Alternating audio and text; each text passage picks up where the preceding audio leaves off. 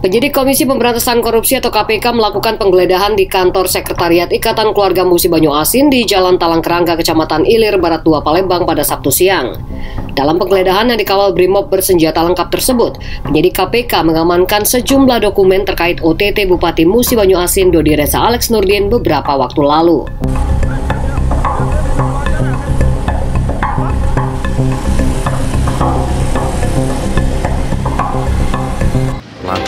Pertamina pastikan stok BBM dan LPG Palembang Baru TV. Kami Lukas, aktual, independen, dan terpercaya. Penggeledahan ini merupakan lanjutan dari penggeledahan KPK di kantor Dinas PUPR Pemkap Musi Banyu Asin beberapa waktu lalu. Rangkaian penggeledahan ini terkait OTT Bupati Musi Banyu Asin Dodi Reza Alex Nurdin. Penyidik KPK terlihat melakukan pemeriksaan ke sejumlah ruang di lantai dua kantor sekretariat tersebut. Namun setelah hampir dua jam melakukan penggeledahan dan membawa sejumlah dokumen, penyidik KPK langsung memasuki mobil dan enggan memberikan komentar dengan awak media. Sebelumnya, pada tanggal 15 Oktober 2021 lalu, KPK melakukan operasi tangkap tangan terhadap enam orang di Kabupaten Musi Banyu Asin, Sumatera Selatan. Sedangkan Dodi Reza diamankan bersama ajudannya di salah satu hotel di Jakarta. Dalam operasi tangkap tangan tersebut, KPK mengamankan uang 270 juta rupiah dari pejabat di Dinas PUPR saat berada di salah satu tempat ibadah dan 1,5 miliar rupiah dari Dodi Reza. Setelah menjalankan pemeriksaan, penyidik KPK menetapkan empat orang tersangka dalam kasus dugaan tindak pidana korupsi tersebut.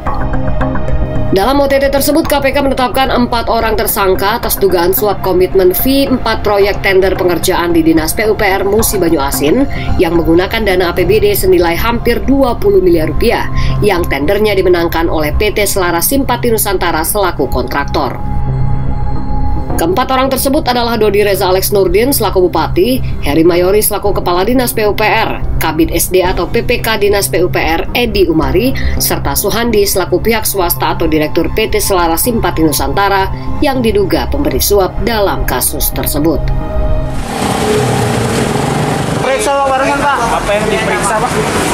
Berarti apa apa Pak? Pak. Tidak ada bertemu benar KPK Pak ya? Selain itu ada apa lagi Pak di dalam Pak lagi ngapain? Penggeledahan Pak ya Pak ya? Mau bawa koper Pak ya?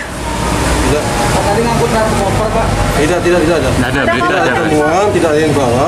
Ya. Ya, sepertinya apa saja. Tadi koper warna biru itu apa Pak? Itu tidak, itu anda mereka kalau ada persiap-persiap saja. Tadi dari KPK atau dari apa Pak? Dari KPK semua. Dari KPK. Semua dari KPK. Pak kantor ini masih aktif atau gimana Pak? Tidak, tidak ada. Tidak lagi Pak ya? Sebagai apa? Tidak lagi Pak Sekretariat atau kantor, kantor apa Pak? Kalau saya tidak lagi, tidak ada lagi. Oh tidak dari Palembang, Sumatera Selatan, reporter Jen, kameramen M. Febrian, PBTV mengabarkan.